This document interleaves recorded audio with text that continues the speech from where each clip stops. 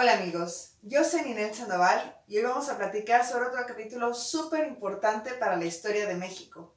Hoy celebramos el aniversario de la fundación de la Gran México Tenochtitlan. ¿Y por qué es importante este suceso? Porque como sabemos fue eh, la ciudad más importante en todo el continente americano y una de las más florecientes, más grandes y más prósperas de todos los tiempos en nuestro planeta. Entonces, es muy importante entender cómo sucedieron estos hechos y comprender la importancia de esta gran ciudad y esta gran nación de la que formamos parte. Como ya sabemos, los mexicas llegaron guiados por su dios Huitzilopochtli, quien los guió desde que ellos partieron de las tierras míticas de Aztlán, que tentativamente se encuentran en el norte del continente, en territorio probablemente del norte de México o de Estados Unidos. Ellos peregrinaron por 200 años aproximadamente en busca de esta tierra prometida en la cual habrían de formar su nación y ser uno de los pueblos más grandes que gobernarían a todas las demás culturas existentes en esos tiempos. Y pues bueno, ellos después de esta larga travesía se asentaron en el Valle de México, que ya estaba habitado en ese momento por diferentes tribus nahuatlacas, que ya tenían bastantes años de desarrollo y de habitar en esta zona y de tener pues una armonía más o menos estable. El pueblo que dominaba en ese entonces eran los tepanecas de Azcapotzalco. Al llegar ahí los en ese entonces aztecas, empezaron a ganarse el favor de las personas haciendo ciertos trabajos y cumpliendo ciertos mandatos para poder establecerse, puesto que originalmente no fueron muy bien recibidos, puesto que nadie conocía sus rostros ni sus corazones, pero ellos sentían ahí una energía fuerte y aparte, pues justamente las indicaciones del señor Huitzilopochtli, que les decía que estuvieran permaneciendo ahí y que además empezaron a relacionarse con los acolhuas, que eran los herederos de la tradición y del linaje tolteca, que para ese momento era el grado más elevado de desarrollo social, por lo tanto, legitimaba su poder de gobernar o de establecerse en esa zona, puesto que su sangre estaba ahora mezclada con este legendario y muy importante linaje de los toltecas. Entonces, pues estuvieron ahí desarrollándose durante algunos años en aparente paz y tranquilidad, hasta que Huitzilopochtli dio la orden de que esa estabilidad se rompiera y ordenó que se ofrendara a la hija de Tlatoani Acolhua en sacrificio, orden que los mexicas obedecieron y que obviamente enfureció a Tlatoani cuando acudió a la ceremonia y se dio cuenta de que su hija había sido desollada y se encontraban danzando con su piel. Por lo tanto, los expulsó y los envió a un islote que estaba lleno de serpientes y de animales ponzoñosos, esperando que con ello, pues, murieran, que se acabara esta cultura que llegaban invadiendo esta zona. Pero, como ya sabemos, los mexicas eran invencibles y tenían una fuerza de voluntad tremenda. Por lo tanto, cuando vieron las serpientes y los animales, pues más bien los convirtieron en su alimento y los utilizaron como parte de sus recursos vitales. Y estaban ahí explorando esta zona cuando durante el segundo paso cenital, es decir, cuando el sol está exactamente en el centro del firmamento, encontraron la señal que por 200 años habían estado buscando. ¿Sí se acuerdan cuál es esta señal? Pues sí, un águila parada sobre un nopal. Pero hay ahí una polémica entre las diferentes fuentes y los diferentes testimonios de lo que observaron, puesto que la historia que conocemos es que esta águila se encontraba devorando una serpiente.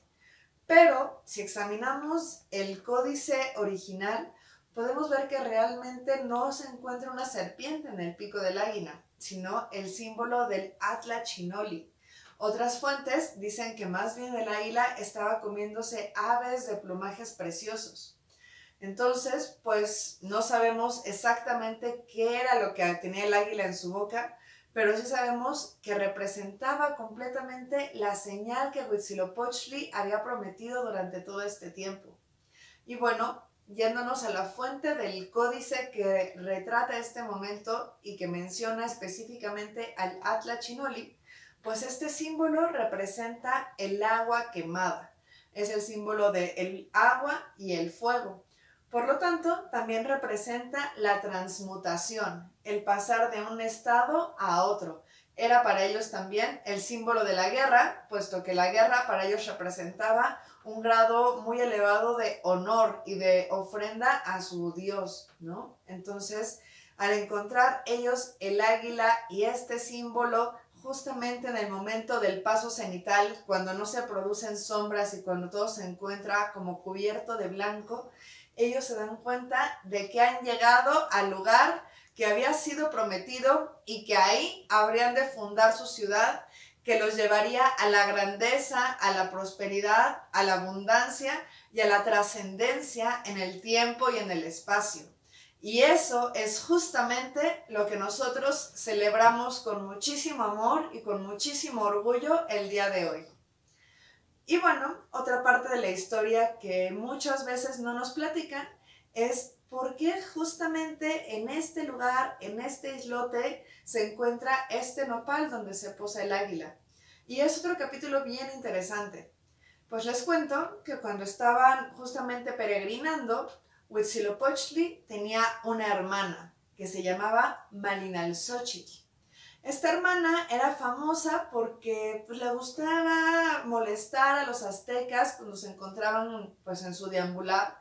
Ella se convertía en animal y de pronto los mataba o los molestaba, entonces era pues más bien despreciada por toda la población, incluyendo a Huitzilopochtli, su hermano.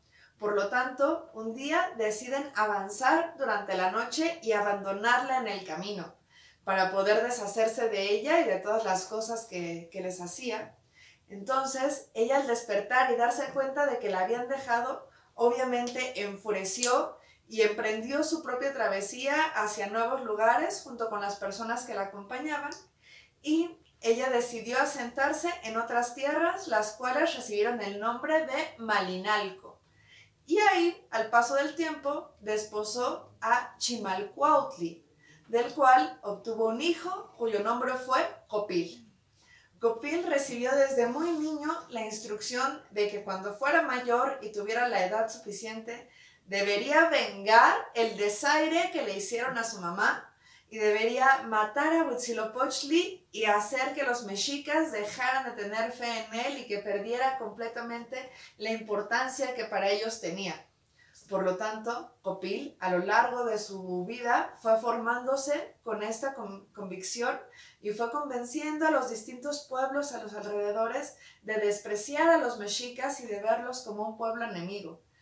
Y entonces Huitzilopochtli, al darse cuenta de que su sobrino era su enemigo y que estaba comploteando contra él, decide enfrentársele y Huitzilopochtli, siendo eminentemente el dios de la guerra, pues gana esta batalla y toma el corazón de Copil y lo arroja en el lago de Texcoco.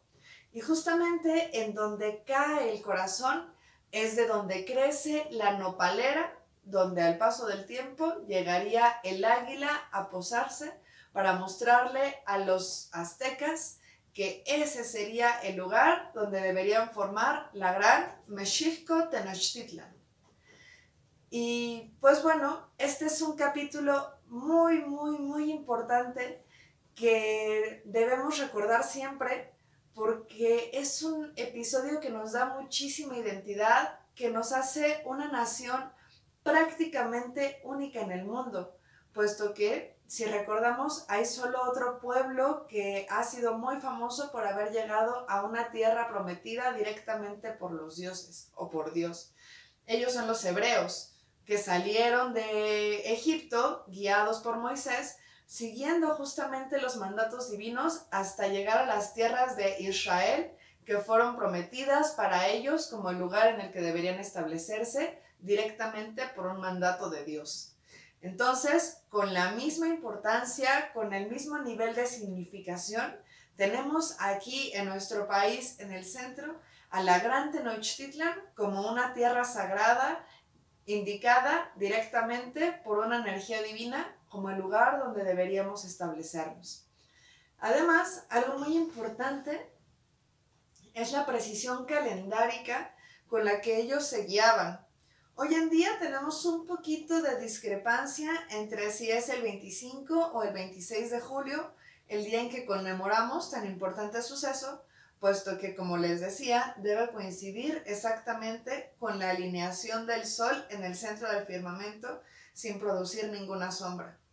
Para ellos, el día era siempre el mismo, relacionado con el día Olin, que era el día del movimiento, pero aquí varía, puesto que el calendario gregoriano tiene estas cuestiones del año bisiesto y tiene algunas irregularidades, cuando el de ellos era absolutamente preciso año con año.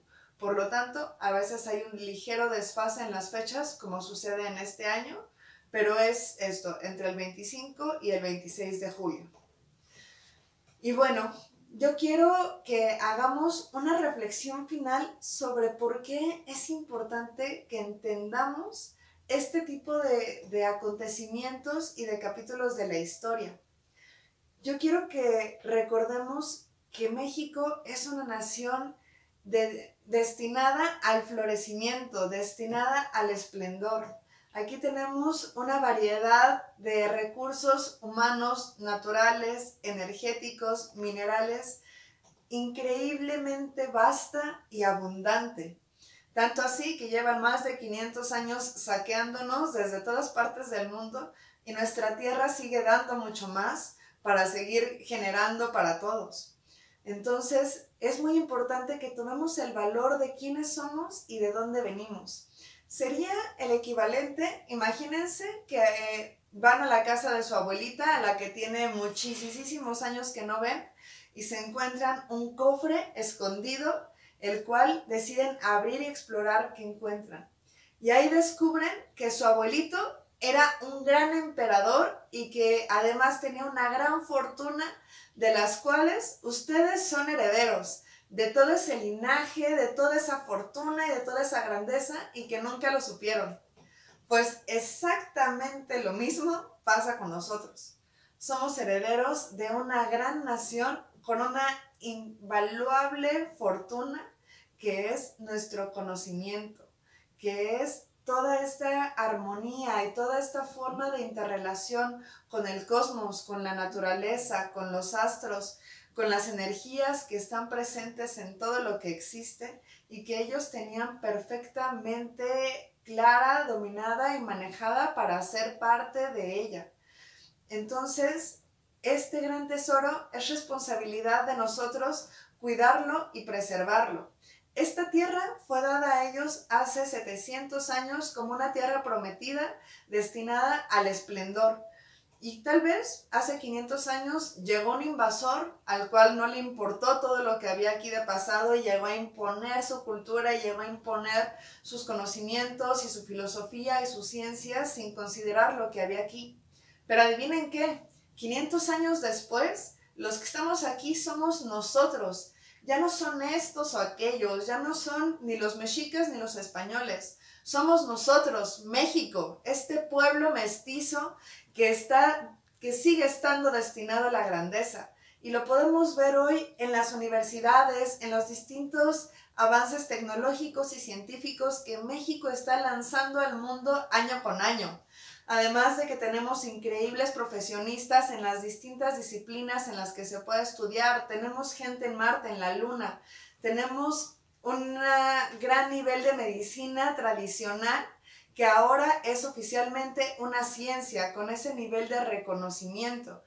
Tenemos además grandes hospitales, grandes doctores, es decir, México tiene todo para ser la gran nación que nos merecemos. Entonces, solo es cuestión de poder abrazar la totalidad de nuestra historia, no solo de hace 500 años para acá, sino entender que provenimos de una cultura, de un pueblo con un nivel de desarrollo increíblemente grande, profundo y sofisticado, cuyo conocimiento sigue vivo y vigente y cuya historia se sigue escribiendo hoy, todos los días, por cada uno de nosotros, con nuestro nivel de amor, de compromiso, de lealtad y de orgullo por quiénes somos, por lo que somos y por lo que somos capaces de crear. Así es que yo los invito a que abracemos nuestro pasado, nuestro presente y nuestro futuro y que lo construyamos juntos. Tlazo Kamati. Ometeo.